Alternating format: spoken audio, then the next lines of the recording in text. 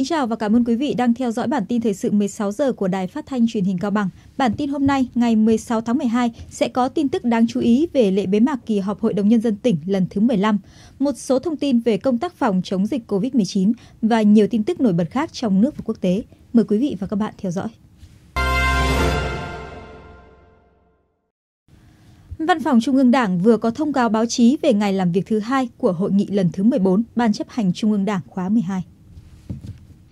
Theo thông cáo, buổi sáng Ban chấp hành Trung ương Đảng làm việc tại hội trường, thảo luận dự thảo báo cáo chính trị trình Đại hội đại biểu toàn quốc lần thứ 13 của Đảng, dự thảo báo cáo tổng kết thực hiện chiến lược phát triển kinh tế xã hội 10 năm 2011-2020, xây dựng chiến lược phát triển kinh tế xã hội 10 năm 2021-2030 dự thảo báo cáo đánh giá kết quả thực hiện nhiệm vụ phát triển kinh tế xã hội 5 năm 2016-2020 và phương hướng nhiệm vụ phát triển kinh tế xã hội 5 năm 2021-2025. Dự thảo báo cáo tổng kết công tác xây dựng Đảng và thi hành điều lệ Đảng của Ban chấp hành Trung ương khóa 12 tại Đại hội đại biểu toàn quốc lần thứ 13 của Đảng. Đồng chí Nguyễn Thị Kim Ngân, Ủy viên Bộ Chính trị, Chủ tịch Quốc hội thay mặt Bộ Chính trị điều hành chương trình hội nghị. Buổi chiều, Ban chấp hành Trung ương Đảng làm việc tại tổ, thảo luận dự thảo báo cáo kiểm điểm sự lãnh đạo chỉ đạo của Ban chấp hành Trung ương Đảng khóa 12 tại Đại hội đại biểu toàn quốc lần thứ 13 của Đảng và báo cáo tổng kết thực hiện quy chế làm việc của Ban chấp hành Trung ương, Bộ Chính trị và Ban Bí thư khóa 12. Một trang trại nuôi ngao tại Nam Định mới đây đã vừa trở thành vùng nuôi ngao trắng đầu tiên của Việt Nam và trên thế giới, được cấp chứng nhận ASC, chứng nhận nuôi trồng thủy sản bền vững khắt khe nhất thế giới. Vùng nuôi ngao được cấp giấy chứng nhận ASC có diện tích 500 ha với năng suất khoảng 40 tấn một hecta và giá bán bình quân 15.000 đồng một kg. Nông dân có doanh thu gần 1 tỷ đồng trên mỗi hecta. Mất hơn một năm để ngao Việt Nam được cấp giấy chứng nhận nhưng đổi lại là cơ hội thị trường mở rộng để phát triển. Chứng nhận ASC được xem là tấm giấy thông hành đặc biệt cho ngao Việt Nam đến các thị trường cao cấp, đặc biệt là thị trường châu Âu. Theo lãnh đạo ngành nông nghiệp, với 1 triệu km vuông mặt biển và rất nhiều bãi bồi, việc phát triển nuôi ngao theo tiêu chuẩn quốc tế là hướng để Việt Nam thực hiện nghị quyết 36 về kinh tế biển. Nghề nuôi ngao đang vươn lên trở thành một trong bốn ngành thủy sản nuôi công nghiệp chủ lực của Việt Nam sau tôm, cá tra và cá rô phi. Hiện diện tích nuôi ngao trên cả nước là 41.500 ha, tạo việc làm cho khoảng 200.000 lao động. Năm 2019, kim ngạch xuất khẩu ngao đạt hơn 63 triệu USD, với chứng nhận ASC, dự báo kim ngạch xuất khẩu ngao sẽ tăng gấp 5 lần trong thời gian tới. Để không thiếu hàng hóa phục vụ nhu cầu mua sắm của người dân trong dịp Tết Nguyên đán Tân Sửu năm 2021, các doanh nghiệp bán lẻ Hà Nội đã chủ động chuẩn bị hàng hóa. Đó là khẳng định tại buổi tọa đàm trực tuyến với chủ đề đảm bảo nguồn cung hàng hóa trước, trong và sau Tết Nguyên đán Tân Sửu 2021 do Báo Kinh tế và Đô thị vừa tổ chức. Theo Sở Công Thương Hà Nội, ngành công thương đã chỉ đạo các doanh nghiệp triển khai dự trữ hàng hóa tiêu dùng thiết yếu với tổng trị giá 39.400 tỷ đồng, tăng khoảng 5% so với kế hoạch dự trữ hàng hóa Tết năm 2020. Nói về việc dự trữ hàng hóa phục vụ Tết Nguyên đán sắp tới, một số doanh nghiệp lớn trên địa bàn thành phố Hà Nội cho biết, để chuẩn bị tốt nguồn hàng phục vụ Tết, từ giữa năm 2020, các đơn vị đã có kế hoạch phối hợp với các đơn vị sản xuất, nhà cung cấp chuẩn bị kế hoạch dự trữ lượng hàng thiết yếu tăng gần 2 lần so với các tháng trong năm. Đến nay đã chuẩn bị xong lượng hàng hóa thiết yếu phục vụ trước, trong và sau Tết Nguyên đán Tân Sửu. Trong đó, phần lớn ngân sách ưu tiên đầu tư cho trữ lượng 9 nhóm hàng bình ổn thị trường, gồm gạo, đường, dầu ăn, thịt lợn, thịt da cầm, trứng da cầm, thực phẩm chế biến, rau củ quả, thủy hải sản, còn lại dành cho các mặt hàng thực phẩm, phi thực phẩm khác và các loại đặc sản Tết. Các đơn vị cũng trao đổi thông tin về tăng cường, ngăn chặn tình trạng lợi dụng các hội trợ xuân để tiêu thụ hàng lậu, hàng giả kém chất lượng. Cục Hàng không Việt Nam vừa ban hành chỉ thị thực hiện nghiêm các biện pháp phòng chống dịch COVID-19, đặc biệt trên tàu bay trong giai đoạn hiện nay. Theo đó, tình hình dịch COVID-19 hiện nay vẫn tiếp tục diễn biến phức tạp tại nhiều nước trên thế giới. Ở trong nước dịp Tết Dương lịch, Tết Nguyên đán Tân Sửu và lễ hội xuân năm 2021, nhu cầu vận tải hành khách bằng đường hàng không sẽ gia tăng, kéo theo nguy cơ dịch bệnh vẫn thường trực, bao gồm cả nguy cơ lây nhiễm chéo giữa hành khách với hành khách cũng như hành khách với tổ bay trong suốt chuyến bay do không chấp hành nghiêm quy định về phòng chống dịch COVID-19. Để tăng cường các biện pháp phòng chống dịch COVID-19 trong tình hình mới, Cục Hàng không Việt Nam yêu cầu các hãng hàng không, các cảng vụ hàng không và các cơ quan, đơn vị liên quan khẩn trương triển khai thực hiện nghiêm các nhiệm vụ, giải pháp tại công điện số 1711 CDTTG ngày 7 tháng 12 năm 2020 của Thủ tướng Chính phủ về bảo đảm trật tự an toàn giao thông gắn với phòng chống dịch COVID-19 trong dịp Tết Dương lịch, Tết Nguyên đán Tân Sửu và lễ hội xuân 2021. đồng thời thông báo tới hành khách tại quầy làm thủ tục check-in và phát thanh trên tàu bay về việc nếu vi phạm các quy định về phòng chống dịch sẽ bị xử phạt theo quy định. Cục trưởng Cục Hàng không Việt Nam yêu cầu các cảng vụ hàng không triển khai các nội dung nêu trên đến các hãng hàng không quốc tế khai thác trên địa bàn. Tính đến 13 giờ hôm nay, toàn cầu ghi nhận trên 73,8 triệu ca nhiễm COVID-19, trong đó có hơn 1,6 triệu ca tử vong và hơn 51,8 triệu bệnh nhân bình phục. Quốc gia chịu ảnh hưởng nghiêm trọng nhất vẫn là Mỹ với trên 311.000 ca tử vong. Trong 24 giờ qua, nước này ghi nhận thêm trên 199.800 ca nhiễm mới, nâng tổng số người mắc bệnh vượt mốc 17 triệu ca nhiễm. Ấn Độ xếp thứ hai với trên 9,9 triệu ca bệnh, trong đó trên 144.100 ca tử vong. Tiếp đó là Brazil với trên 182.800 ca tử vong trong số trên 6,9 triệu bệnh nhân. Xét theo khu vực, châu Âu vẫn đang là tâm dịch của thế giới với sấp xỉ 20,2 triệu ca nhiễm COVID-19, trong đó có hơn 467.600 ca tử vong. Tiếp đến là Bắc Mỹ với hơn 457.000 ca tử vong trong hơn 19,75 triệu ca nhiễm.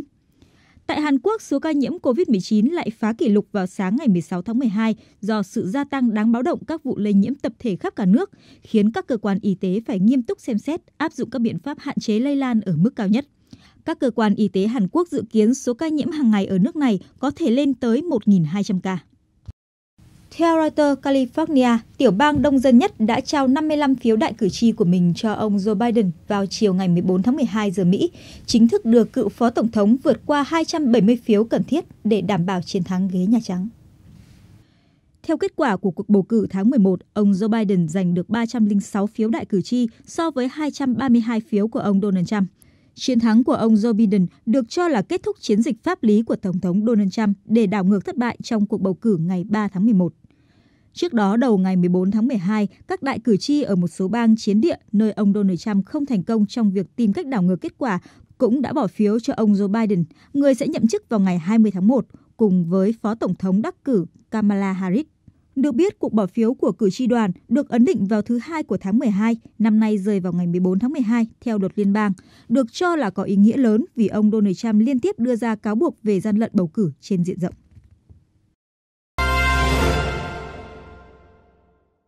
Tiếp theo là một số tin tức trong tỉnh. Sáng nay, kỳ họp thứ 15 Hội đồng Nhân dân tỉnh khóa 16, nhiệm kỳ 2016-2021 đã tiến hành phiên bế mạc, thực hiện nội dung chất vấn và trả lời chất vấn, thảo luận, biểu quyết thông qua nghị quyết về phát triển kinh tế xã hội, an ninh quốc phòng ở địa phương.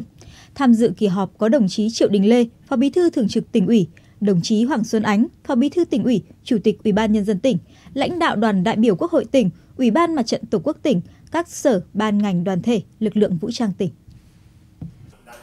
Kỳ họp đã tiến hành chất vấn và trả lời chất vấn với bốn nội dung chất vấn trực tiếp được các đại biểu Hội đồng Nhân dân và cử tri quan tâm. Trên tinh thần thẳng thắn, nghiêm túc, lãnh đạo các sở ngành đã trả lời các vấn đề về thu ngân sách, giải quyết tình trạng nợ động thuế, làm rõ đơn vị cá nhân đủ điều kiện xóa nợ, khoanh nợ, các giải pháp đảm bảo đủ giáo viên dạy ngoại ngữ và tin học, thực hiện triển khai dạy học ngoại ngữ và tin học bắt buộc cho học sinh lớp 3 bắt đầu từ năm học 2022-2023 làm rõ về chỉ tiêu giải quyết việc làm và giảm tỷ lệ thất nghiệp năm 2020 do ảnh hưởng của dịch COVID-19, những chính sách cụ thể về đầu tư, hỗ trợ, phát triển ngành hàng chủ lực có lợi thế và những ưu thế của các sản phẩm ô cốp khi triển khai thực hiện theo đề án nông nghiệp thông minh của tỉnh.